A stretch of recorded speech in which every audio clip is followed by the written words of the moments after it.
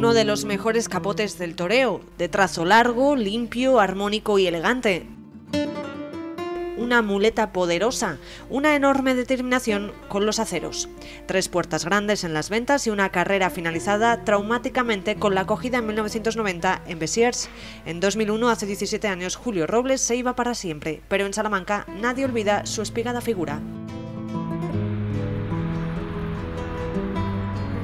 Como torero, pues una figura con el capote, tenía un capote extraordinario, donde quiera que iba, pues, pues triunfaba en todas las plazas. Ya no digo Madrid, digo Sevilla, que salió también por la Puerta Grande otro año en Sevilla.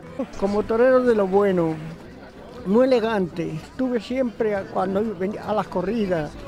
Desde, desde que cogió la alternativa, lo he seguido por todas partes.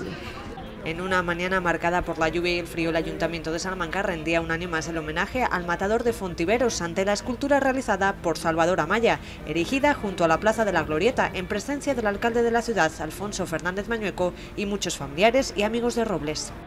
Sí, hombre, para todos los que tuvieron la suerte de compartir muchas tardes de cartel con él y, ser amigo de él, pues la verdad que es nunca jamás nos olvidaremos de él y lo llevamos siempre en el recuerdo, no solamente hoy, es un día especial porque es un aniversario, pero Julio está en nuestra memoria todos los días. Julio Robles ha sido un héroe de la fiesta, ha sido un hombre que dio su vida por un ideal y eso no es fácil en una sociedad como la que estamos viviendo hoy día, que haya hombres que por un ideal, por una ilusión, por un sueño sean capaces de jugarse la vida, eso no es normal.